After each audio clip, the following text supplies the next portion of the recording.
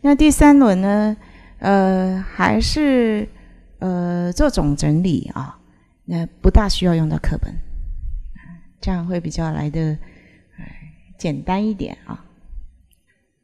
再讲到凡夫众生对佛法的认同跟迷思，我们还是做总整理了啊。那在座我相信，或许这些迷思已经没有了，那认同点也很高。但对于广大的群众而言，哎，这个认同是偶尔有、偶尔没有的啊。那迷思，我想直到你呃破除根本无名之前，多少都还是会有一点啊。讲到说佛法的修持可以证悟得解脱，这是听说的，因为自己还没有证明，所以对佛法。会有产生极高的憧憬，对于得道高僧、深不可深不可测的修行，会有无比的尊崇。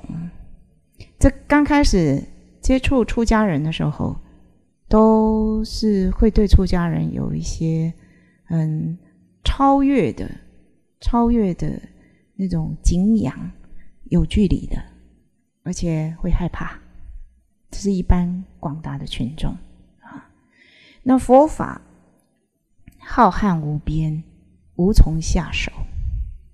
很多听经闻法有一阵子的人，他会觉得有一些东西，嗯，理论听得懂，可是不知道怎么用。直到你很多年后，你有了你的法门，你才知道如何下手。或是如何去做整理？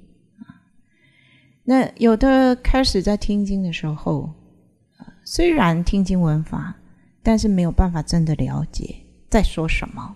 那是因为佛教名相，佛教名相陌生，那它有特殊的含义，而这些含义在生活面上面其实不出现啊。它不是我们一般。语词，所以那种陌生的感觉，让自己好像在读某一种无字天书啊，很难直接去了解啊。有一些人是素世，素世对于这些有修为过，所以当这些佛教名相出现的时候，他会有自然的亲切感。那一读之后，就会知道哦，那在说什么。这个是，呃，对于初学佛跟曾经有经验的人很大的不一样的地方。那修行其实刚开始听经闻法，你说对你的生命有多少的帮助？其实，如果你不是已经达到某一种瓶颈，也就是生命。有一些你理不清的，你真的要去探讨。如果不是的话，还是回到自己的工作岗位跟家庭生活。所以听经归听经，回去之后都会给他搁在一边。偶尔碰到烦恼的时候，哎呦，我跟公司啊，佛经说什么？会去想要去抓一点依凭的这种参考，有参考价值，但是。说实在，突破不了，没有办法即刻突破，会有隔层纱的那种距离，就是有距离就对了。对于自我佛性，其实不肯定，这是一般大众啊，学佛三五年内都有的啊。自我佛性不是很能够肯定什么叫佛性啊，所以很多人对于佛性。那真正那个觉照力，那个那个觉的那种能力，其实不是很懂哎，有时候会模糊啊，会不肯定。那我这样造作的心，也是佛性吗？我现在要给他想坏，也是佛性吗？那我能理解，也是佛性吗？明明都是染污啊，可是碰到佛这个字，应该就是干净的，所以不知道，没有办法去做一种绝对的肯定。对不对？修正的可能性几近是零开始学佛的人，就觉得我有一天可以成佛吗？我有一天可以开悟吗？真的吗？啊，就是觉得那个是很遥远、很遥远的未来。那个未来会发生在我身上吗？啊，就想要真的让它成为事实。可是这种摇摆摇摆，在开始学佛，其实只是对佛法崇高的认同，那也不尽然全部认同，迷失倒是占大部分。所以总归回到凡夫一个，哇，就回到我还是一个凡夫。修行里面总是会看到自己很多拨不开的云雾啊，还有拨不拨不开业的包袱。那每天每天在这些冲突跟矛盾中，怎么可能？怎么可能那个成佛会是我呢？像这种迷失都要好久好久，直到你真的入法了。那这个入法必须你自我做一种抉择，我要受持这部经，我不断不断的像煮开水一样，煮开水一样，就是给它加温，就是熟，一直熟，一直熟。我这个定课，当有这个定课，不断让自己很熟很熟，你会在你生命切出一块时间。那这个时间呢，全部就是奉，就就是把自己放放到跟佛法的结合，不管它是语言文字或是形式都没有关系。那这个上面才会入那个法位，要不然听一听啊，这书讲了未歹，我讲我就是安尼，一大这口拢嘛在讲我，但是立马并没鬼啊。哎，常常上课下课的时候，学生就说：“师傅，你今天都在说我哈？”我说：“对，都在说每一个我，每天也知道在说我啊，佛在说我啊，那个还是接受法的呢。你接受法才会觉得他是在说我，如果不接受的话，就好像黑公给标。”还跟我难哦，还在攻下人哦，与己无关，好像自己不是那里面应该修的人，而且要修的都是别人，这个就是就有问题了。所以呢，就是对佛法的这种跟对法师的这种迷思，都是因为你没有把时间空间播出来，自己放在里面。说实在，都是这样的。如果你这样每天每天跟佛法在一起，嗯，这个上面很快就可以过过去。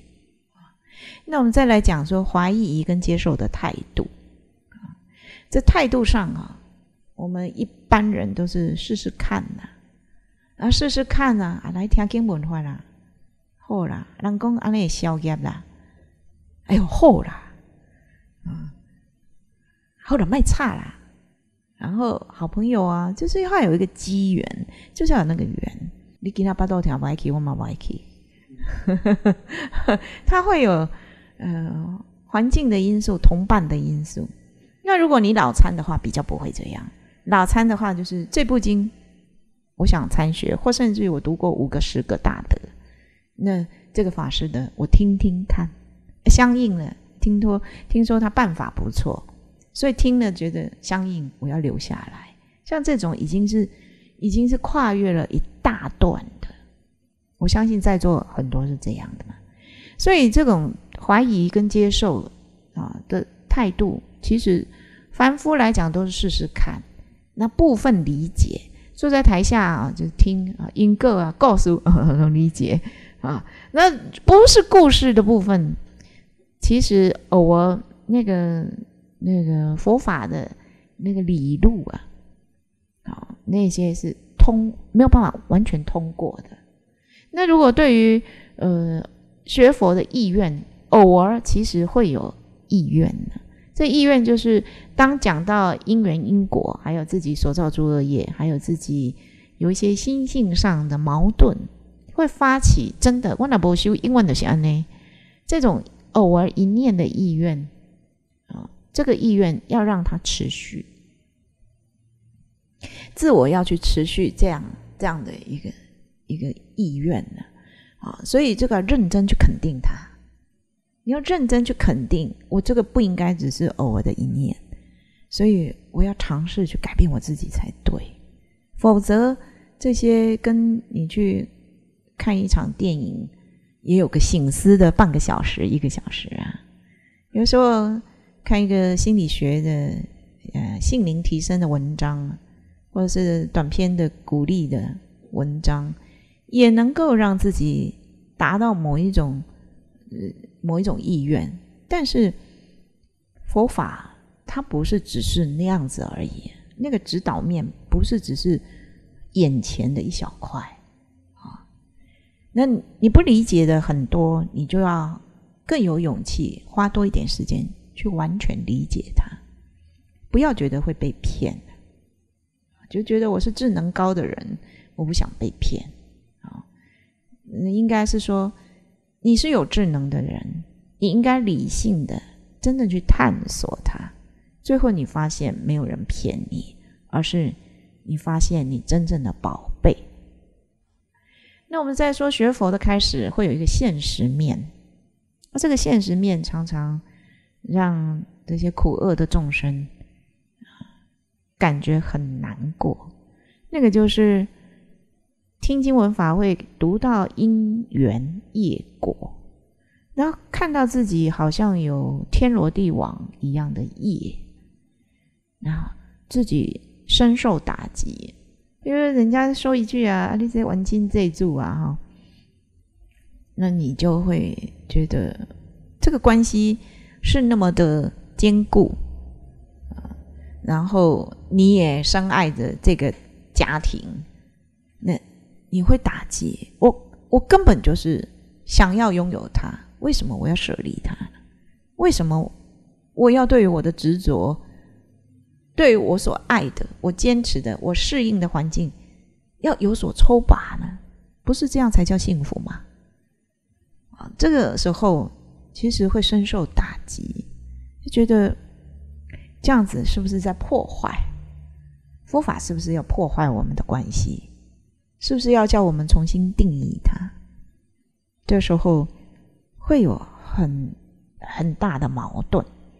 那如果说你是有一些苦厄，有一些苦厄，你你另外会去看到天罗地网的业，然后我这个不大可能翻转过去了。我近期一辈子都是老妈子，我近期一辈子都不可能对于家里人有有什么翻牌的机会，让他们来尊重我。这种时候，这种失败跟失望，会让自己在现实面失去学佛的那种意愿。但另外一方面呢，又有一个很矛盾的想法在里面。也就是对于自己苦厄这种纠缠的关系，想要有办法去解决它，于是呢，就开始走了第二个阶段，叫做消业障。这想要借由很多，嗯，所所谓的布施、结善缘、做义工，或是拜忏，嗯然后去消这个业障。这现实面的，那智慧倒是不考量，所以想要的是消灾解厄，培养善根。有的人对于自己生命里面这种恍惚起的恶念呢，不由自主的对立心，看到之后就觉得我想转这个念，所以听经闻法就是要帮助我自己转这个念。这个算是理性哦，这是理智型的哦。一般来讲啊，都是很难呐，要花很久的时间才愿意让自己控制一下，控制那个恶念头。啊，甚至于恶念头出来的时候还会起惭愧啊，这已经算有一点有有有一点意愿跟有一点功用了，所以花在。消业障啊，花在消业障都是有一段的啊。消花钱呐，或是拜忏呐，功德回向啊，就希望能够解决这个苦厄纠缠的现况。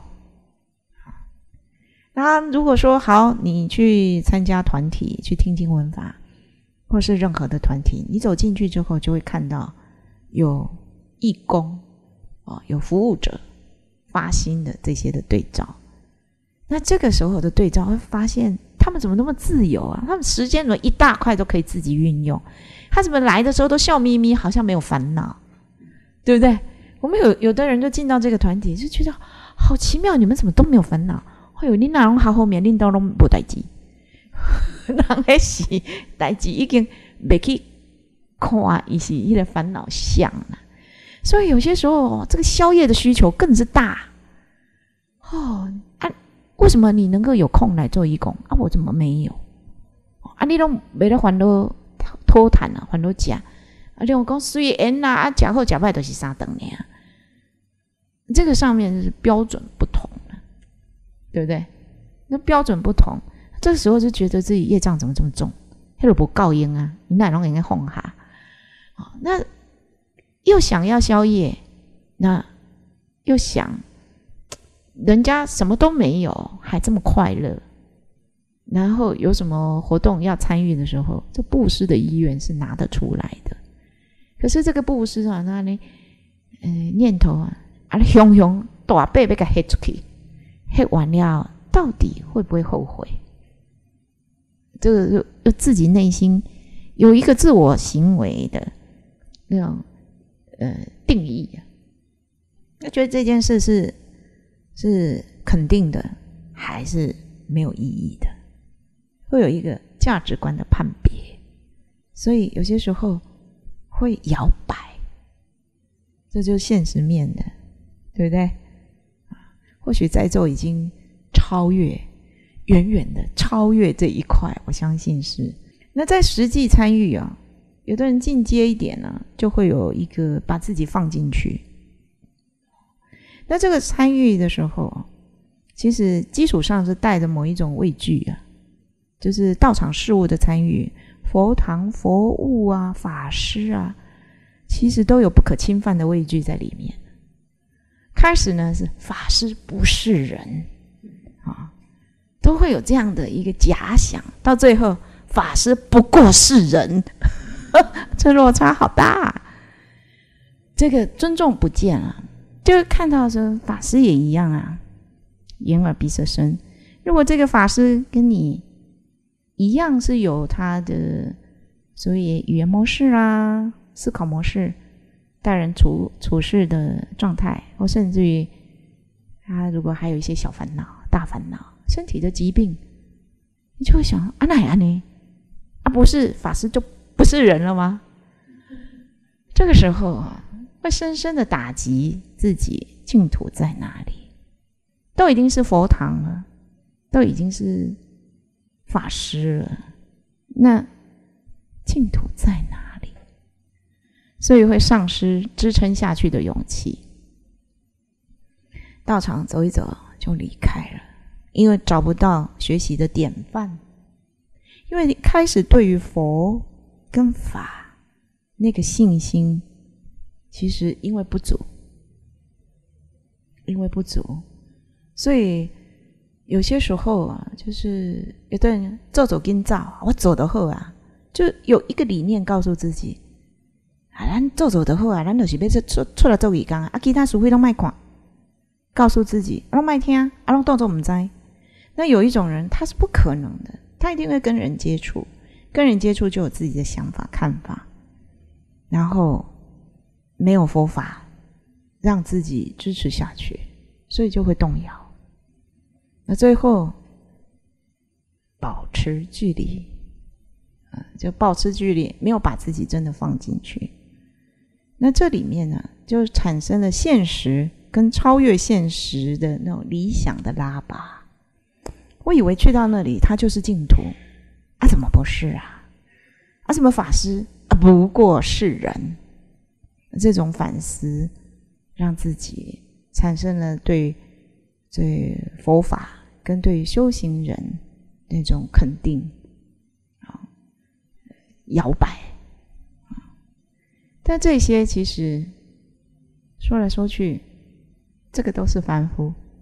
以上所说都是凡夫，因为他没有读到佛法告诉你的，是要回头去读你的心，去读你意识结构起来这个东西是什么。这样子才是佛法，他只是不断的去听经闻法、看法师、看佛堂、看义工的时候，不断在建构这个东西。这样听懂吗？这个矛盾来自于你不断在建构，你依然是凡夫，一定会建构。佛法是告诉你回来看你建构的这个东西。回来看你建构这个东西，有些时候听经闻法会读到佛是如何如何的自在，修行人是如何如何的有智慧，处理事情是如何如何的圆融。那现实的社会里面，人都有自己的标准，你会顾着自自己的知见，然后忘记忘记你的知见其实是世俗的。那一个道场，或是这种呃大众一起啊，在共同修持的地方，它依然是众生有知见的情形，但这个知见打知见，还是冲突的知见。那你内心对于建构起佛法至高无上、清净的那个理想状态，跟你现实所看建构起来的知见。它天壤之别，是不是天壤之别？所以这个时候到底怎么修？矛盾跟冲突，秽土跟净土，它是两方遥遥相对的。佛法告诉你的，现在就回来谈到，其实佛法就是要告诉你说，你忘记读你的心，而你是到道场去结构你的知见。那你一直结构你的支见，你就自我纷扰，在那边回旋，在那边一直转，一直转。阿克塞干闹三不赶快，阿姆是赶快的下来啊！那真正学佛要懂得一点，他就是不管你创造什么支见，不管你创造什么支见，都是读这个支见，要读这个支见。另外有一块是。佛经里面建构起来的菩萨应该怎样，或是一个修道者、成道者应该怎样的这块呢？是你学习的模式，不是在讲，只要你到了这里，这里的人都已经是这个答案，否则他的矛盾会非常的多。所以，当你一念去知道，原来我放错了，我放在结构。而不放在读结构，读完结构之后就要消化这些，而知道这是错误的，所以这个才叫佛门的自修，这个才不是心外求法。所以为什么很多人学佛多年，听一听之后就好像懂，可是不能开悟，他是。佛法之见堆砌的很多，那这个之见是从理想的佛经里面的之见搬到自己的心中来，然后看世界是用这个是这个之见去对立世界，自己偶尔要来整理自己的想法，是用佛法的这个支见来修正自己的之见，可是并不容，并不消化自己对世界的批判。所以自己的知见跟世界的批判形成不圆满的，那这个时候不能够开悟，又唾弃世界，然后觉得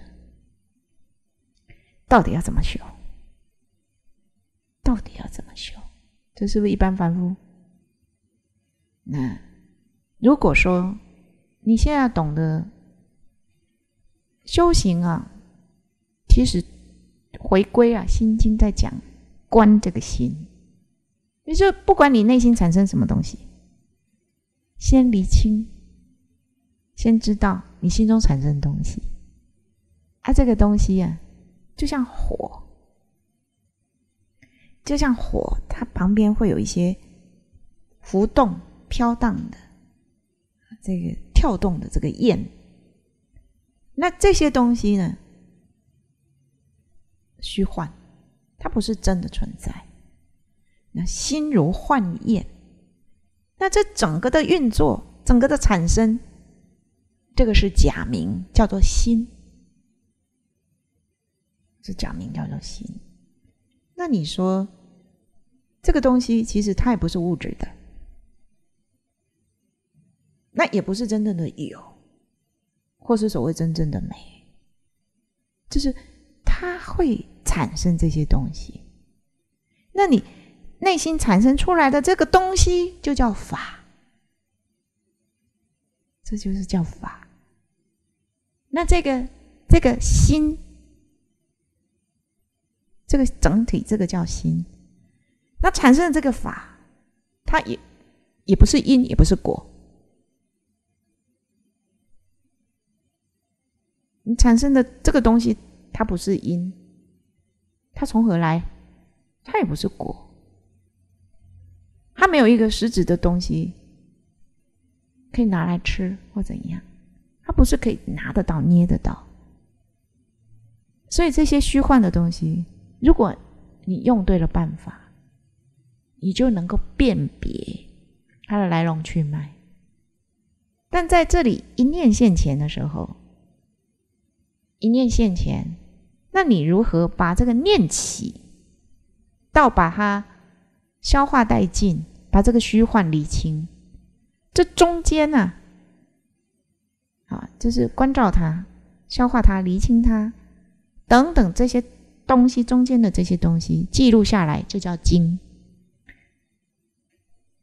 世尊就是把这些说完，这个就叫经。它是过程的描述。所有一切的，一切的实相，然后让我们去转这个心。所以这个心，它不是一个具体的东西，也没有名字，那也没有说生，也没有灭，真正它是不生不灭的。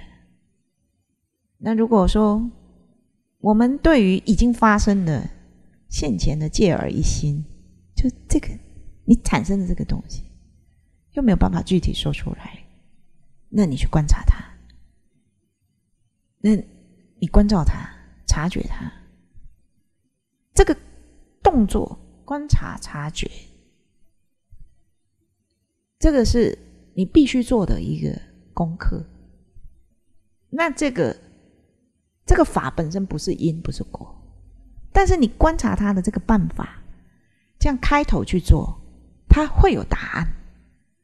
它的答案就是你会有解脱跟智慧，你会有智慧的。所以智慧从哪里升起？智慧从染污来的，承认吧？从你的烦恼。这些而来的，你说，可师傅，你以前是不是很烦恼？是的，也 是。那你现在有一点点智慧，因为我解决了，对不对？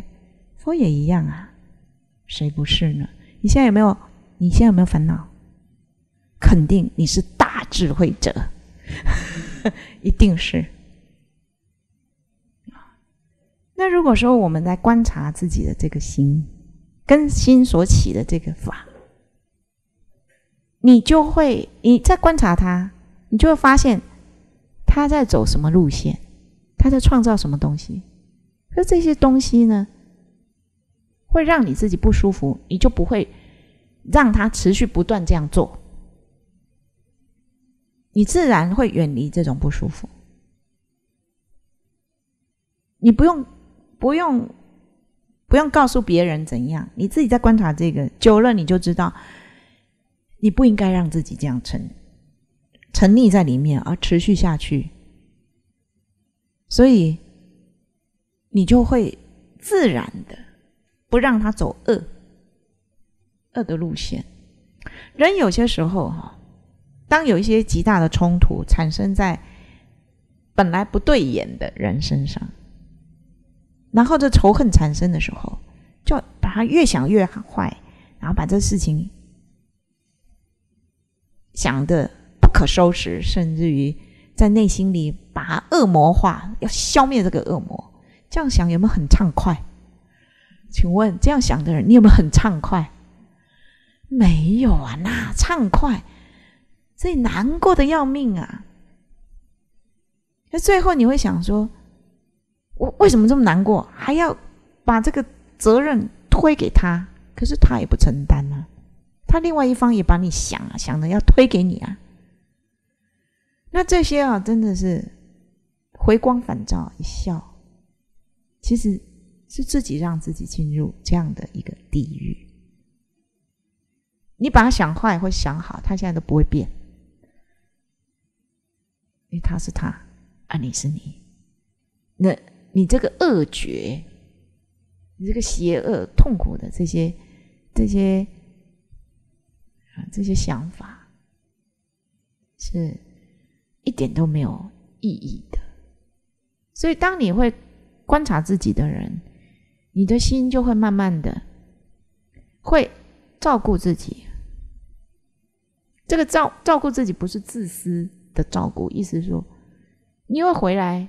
让自己不要进入这样的绑死的痛苦的情境，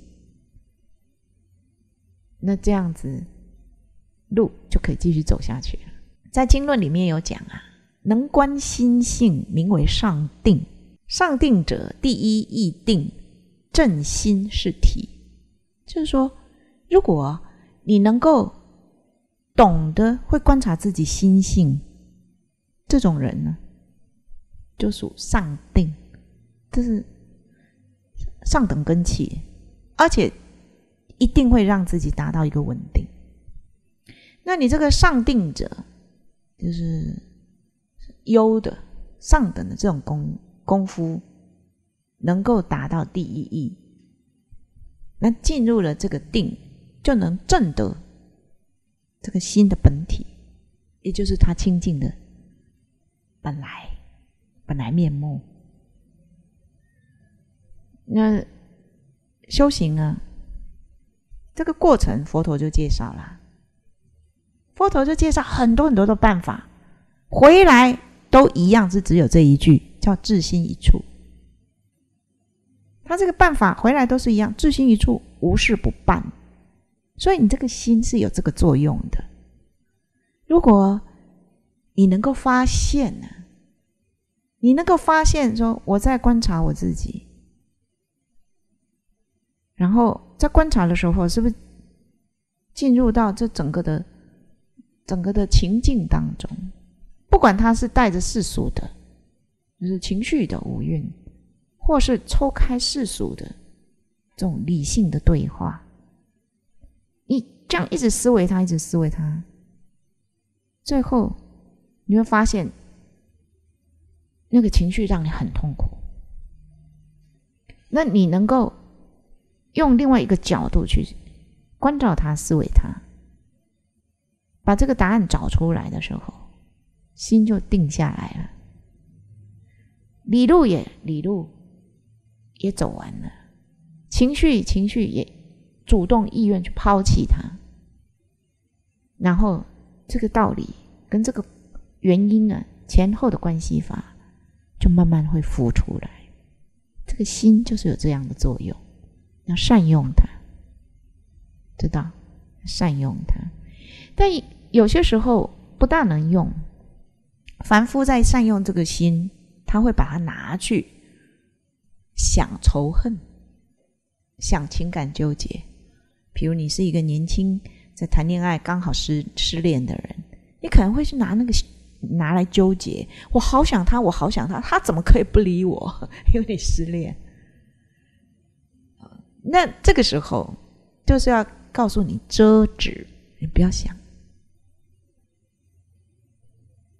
好，就是不要想。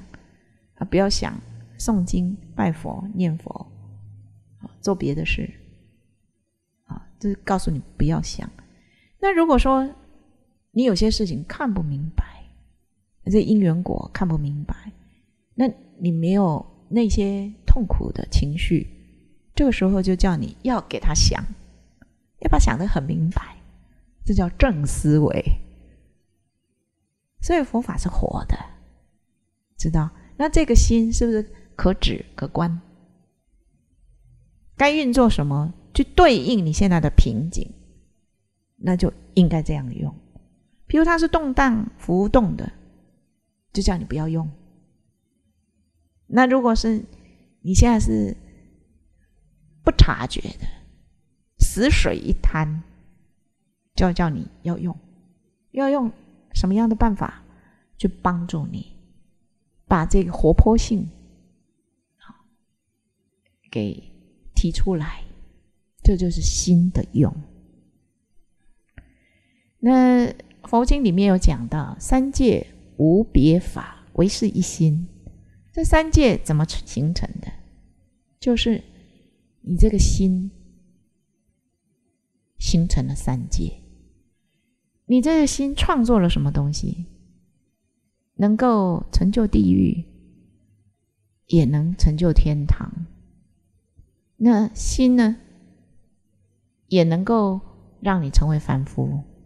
也可以让你成为圣贤，所以啊，觉观这个心是它基础应该要有的正确的方向啊。那如果说我们可以用自己清净的这个心的用来了别于心创造出来的这些东西，知道吗？我们有这个用吗？我们用这个用来很清楚看到自己创造的这些东西，理解它，就能够正，这就能正入正这个心，那也能证明佛所说的这个教相，也就是佛所说的这些理论，他教导的办法，他所呈现出来的答案，原来就是这样。就是用我们的用，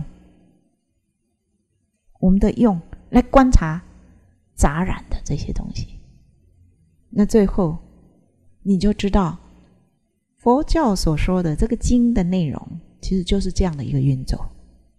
那我们呢？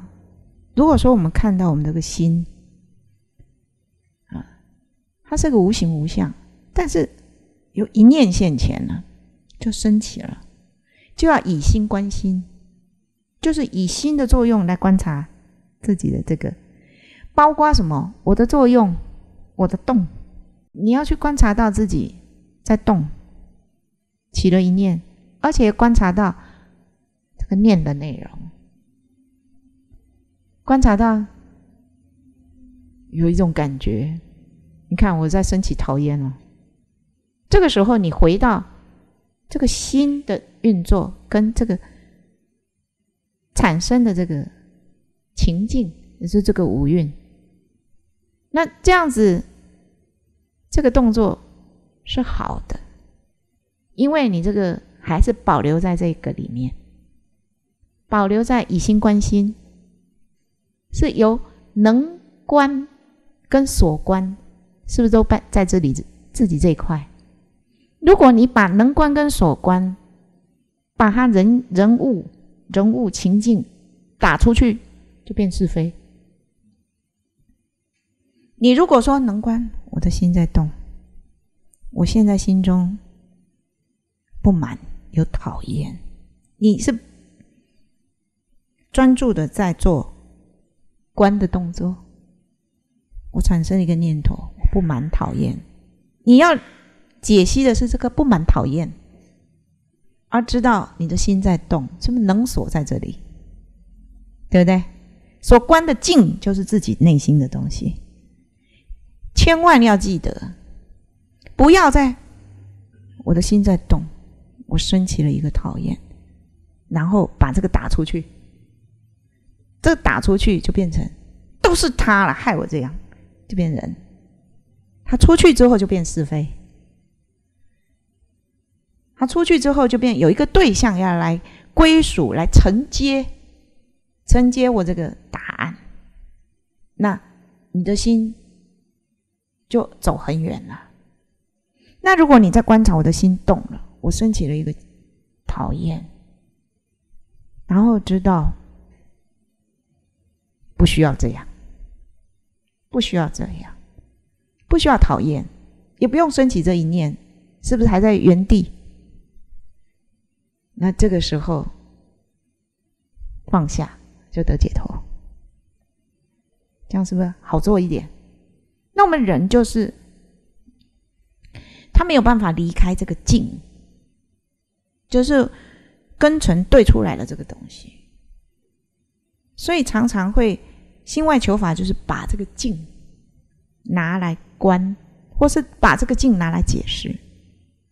你记得一个动作，把这个镜拿来观，就是消化这个静。如果你把这个静拿来观之后，是要强化这个静，要反映这个静，那就错了方向。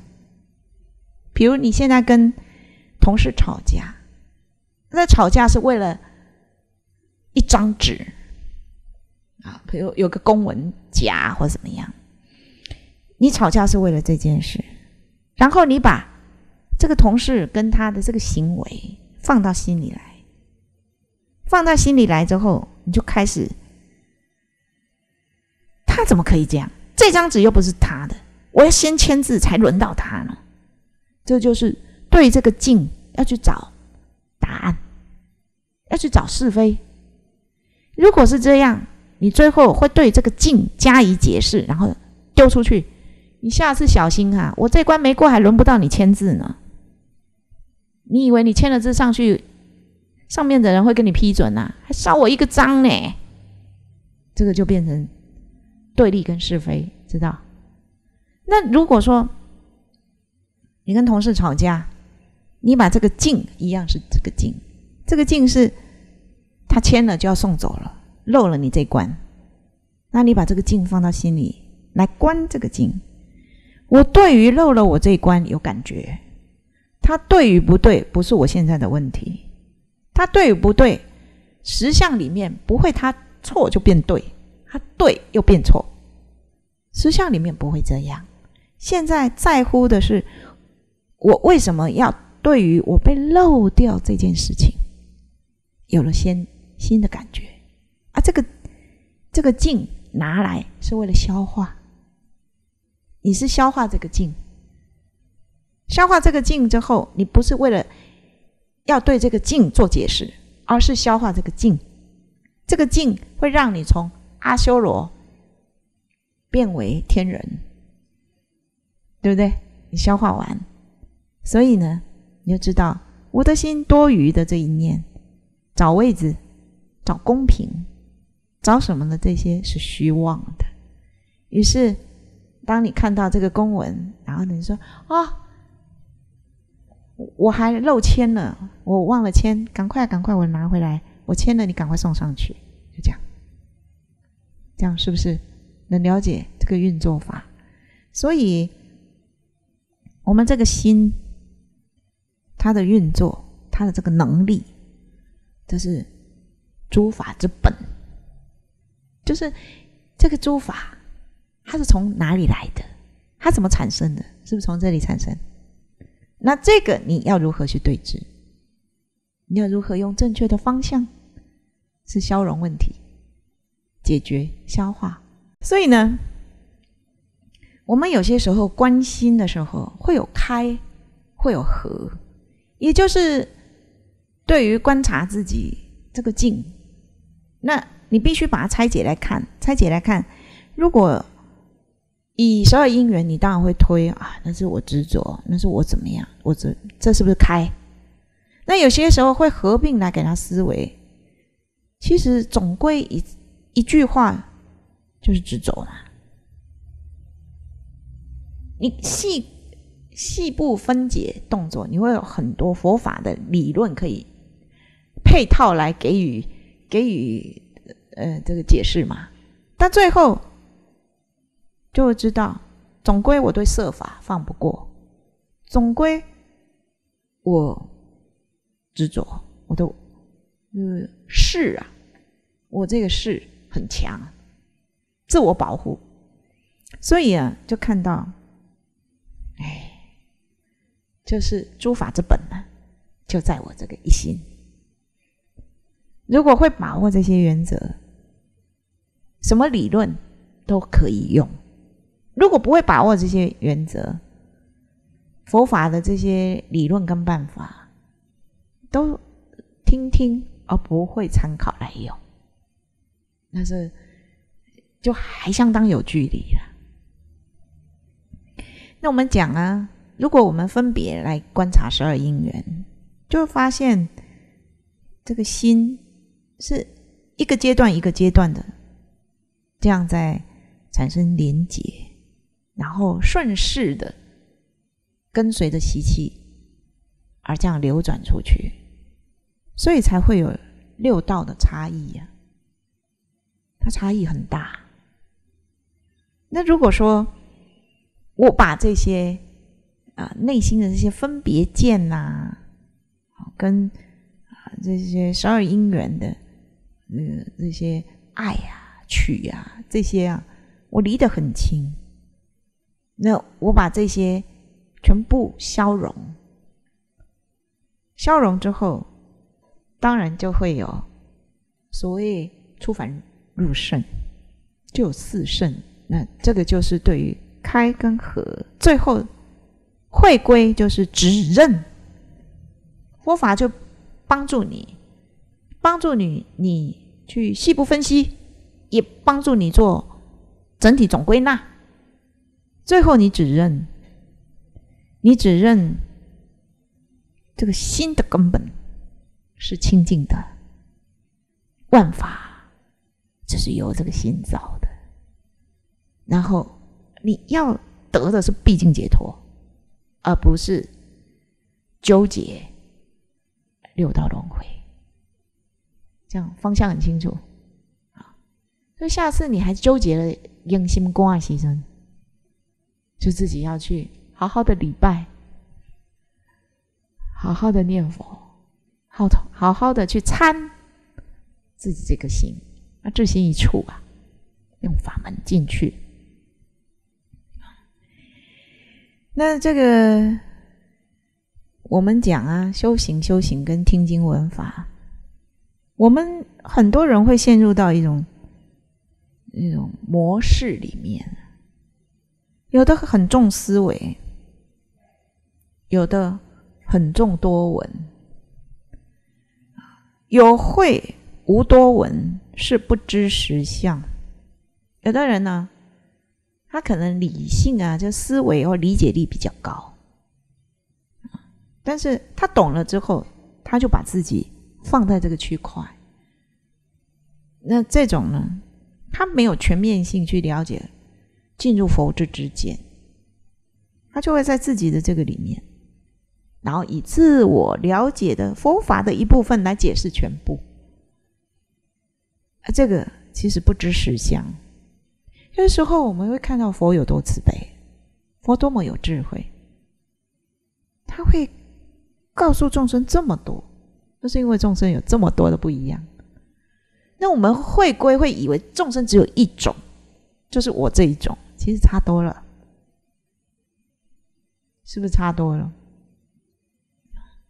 那有会无多闻，是不知实相，他没有办法全面去了解。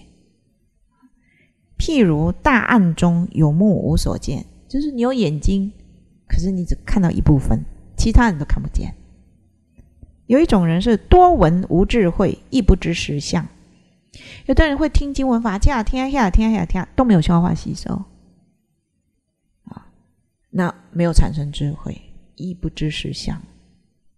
所以有的读书读很多，然后听也听很多，那。佛法的几个基本的要义啊，或四句偈，哎，朗朗上口。但是呢，其实不是真的自己的智慧，跟实相当中没有连结。他说：“那看到别人安怎讲啊？你执着啦，一切有为法，如梦幻泡影，如入亦如电，应作如是观。难道你敢不知？哦，这个马上可以给人人家用。啊，人啊，那家己起烦恼，人讲哎哟，啊，你哪呢？啊，你唔知。”这个时候，其实有些时候多闻不一定有智慧。那这个是表示，譬如大明中有灯而无照，大光明里面有灯，但是你不会拿来照，你不会拿来真的是使用。那还有一种是多闻立智慧，是所说应受，也就是你多闻。然后你也产生了智慧。